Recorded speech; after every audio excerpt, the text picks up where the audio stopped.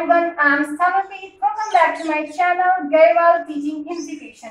As I made many videos before which is related to grammar topics like voice, tense and some speaking videos like pronunciation and what is the difference between two accents British and American. And today I also choose the word happy birthday which we use most commonly. So instead of saying happy birthday again and again, use the words which I tell you today. Please subscribe my channel more and more. If you like my content, share my videos with your friends. So let's get started with today's video. And the first word that you can use instead of saying happy birthday again and again. The first is wishing you many more candles to blow wishing you many more candles to blow.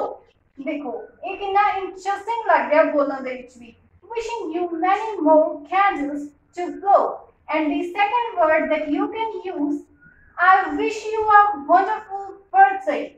I wish you a wonderful birthday.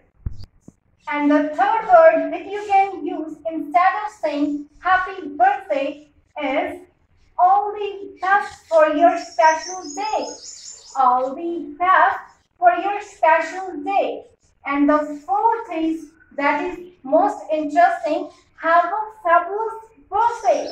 Have a fabulous birthday. देखो ये कितना interesting क्या लग रहा है बोलने से कुछ भी तो सामने वाले ने डेफिनेटली एक गुड इंप्रेशन करना So saying again and again happy birthday stop this use these kind of words and the fifth word that you can use instead of saying happy birthday is many happy returns of the day.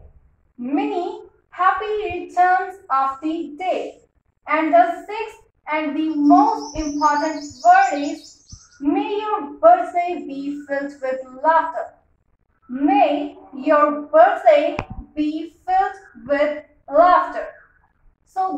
My today's video. Use these words instead of saying happy birthday again and again Practice these words five times and subscribe my channel. If you like my videos, share with your friends and who do not watch my recent videos, then uh, you can go to my playlist and check the videos.